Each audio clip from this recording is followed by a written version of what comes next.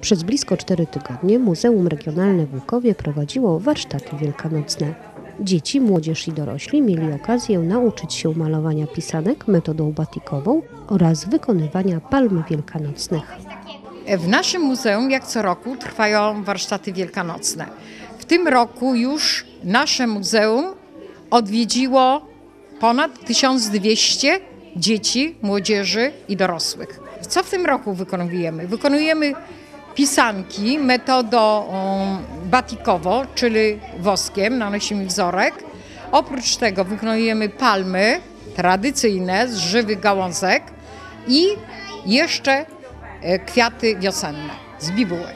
Przy okazji warsztatów opowiadamy o zwyczajach, obrzędach z terenu ziemi łukowskiej. Może powiem tu według tradycji dawnych, co się powinno znaleźć w koszyczku wielkanocnym. Przede wszystkim baranek. Baranek, symbol Pana Jezusa zmartwychwstałego. Drugi podstawowy produkt z koszyczka to jajko. Jajko to symbol życia. I dlaczego jajko wkładamy kurze, a nie na przykład gęsie, czy jakieś inne, czy, czy indycze? Dlatego, że tak jak Pan Jezus zmartwychwstał po trzech dniach, to z kurzego jajka też po trzech tygodniach, to symbol cyfry 3, że powstaje z jajeczka też życie.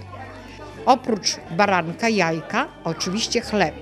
Chleb jako e, symbol ciężkiej pracy i dobrobytu zarazem. E, w koszyczku jeszcze powinno się znaleźć czy to kawałek kiełbasy, czy kawałek jakiegoś innego mięsa pieczonego, czy, czy wędzonego. To jest symbol takiego dobrobytu.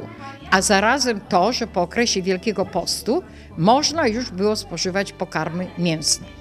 Co jeszcze w koszyczku? Oczywiście sól. Sól jako symbol trwałości. Oczywiście chrzan, kawałeczek chrzanu. Jako, że Pana Jezusa przybito gwoździami do krzyża, dlatego malutki kawałeczek powinien chrzanu się znaleźć też w tym koszyczku.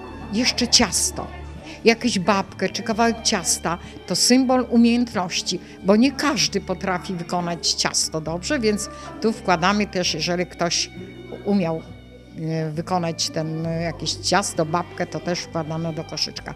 No i oczywiście e, dekorowano koszyczek, czym dekorowano? W tej chwili jakimiś żywymi kwiatkami, listkami zimozielonymi też dekorujemy. I co jeszcze?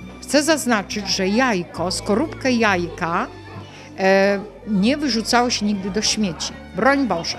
I teraz proponuję, żeby tę skorupkę gdzieś do doniczki, czy na ogród, jeżeli ktoś tam ma swój ogródek, że nie wyrzucać, bo to jest święcone, to jest taki szacunek, symbol, że nie wyrzuca się rzeczy święconych.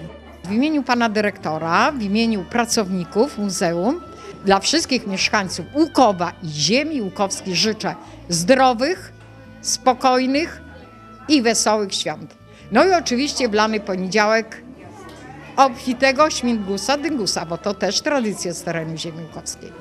Warsztaty odbywały się zarówno w muzeum, jak i w szkołach, przedszkolach i świetlicach. W sumie wzięło w nich udział blisko półtora tysiąca osób.